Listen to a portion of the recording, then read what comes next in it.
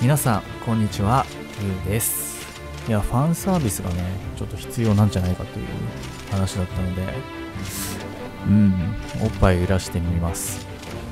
どうでしょう？まああの もっといいそのなんかあるんですけどね。ちょっとまあそれに関してはまた別の機会にということで。なかなかこうあれだね。完全にこう揺らす。この服装やっぱいいよな。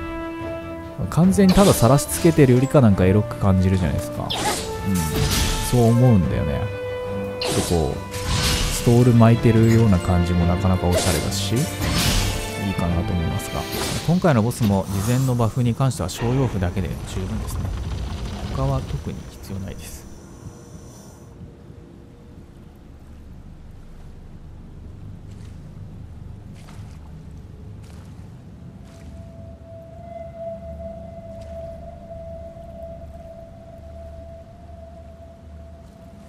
生きて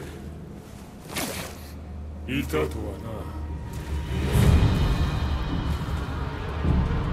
な。しかしいいところに来た。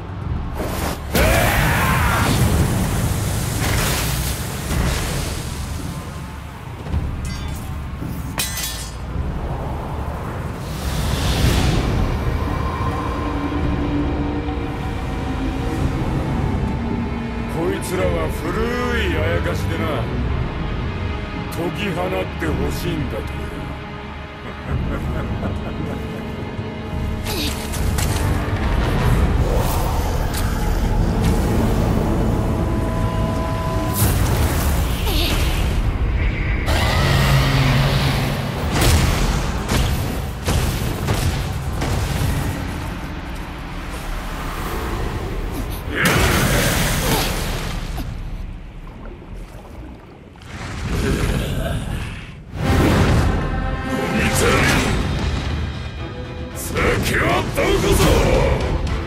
いい顔してるね。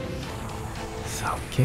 俺酒はいらないんですけどね俺。的にまああの黄金符地動符最初入れて避けて後ろに回り込んでそして八つの神。そして手裏剣打ちつつ八つの神貯めて八つの神使う。これですね。4戦法ですぐに後半戦入るんで後ろに回り込んでそしてまた手動符黄金符打ったら乱れ打ち宮内そして八つの神そして宮内まあ八つの神使うとかね。まあそれだけで勝てるんで。愛犬とかはすごくいいボスなんだけどしかも強そうなんだけどすごく弱いです。あやつらを連れ再び今日を練り歩かぬと来光もそうよ。気持ちようなっているというのに気に食わん。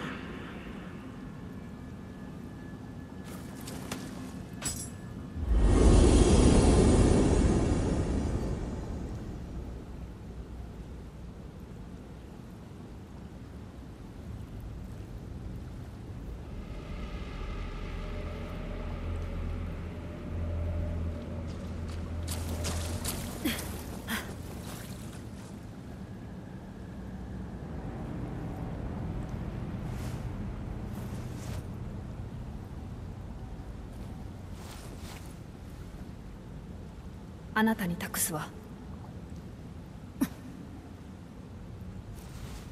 残す鍵は霊石ってことね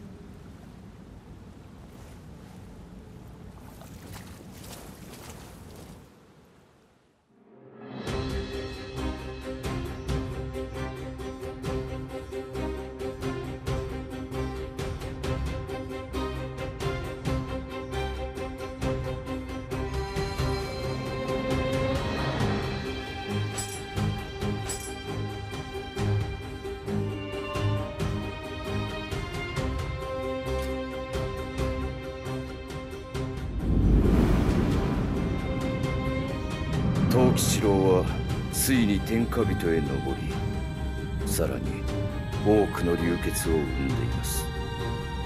無名殿の言うあやかしを滅ぼす刀取り戻すには大量の霊石がいるとか。霊石を用いるは節操の案ずる道ではありますが毒は毒をもって制すしかありますま藤吉郎の本拠。今日の呪落台は霊石を集めて建てたし打って出る時が参りましたな。